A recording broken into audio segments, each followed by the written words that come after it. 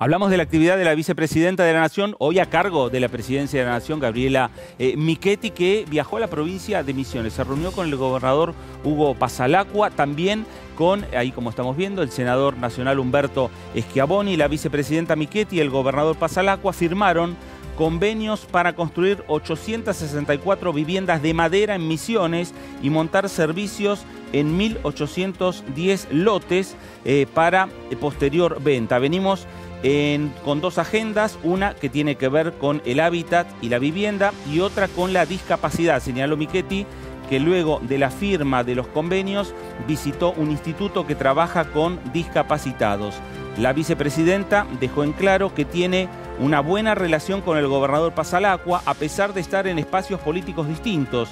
Acompañó a la vicepresidenta el senador y candidato a gobernador por Cambiemos, Humberto Schiavoni, aunque el senador aclaró que Cambiemos va a decidir orgánicamente en los próximos días su fórmula de candidatos a gobernador y vice. Misiones es otra de las provincias que anticipa el calendario electoral.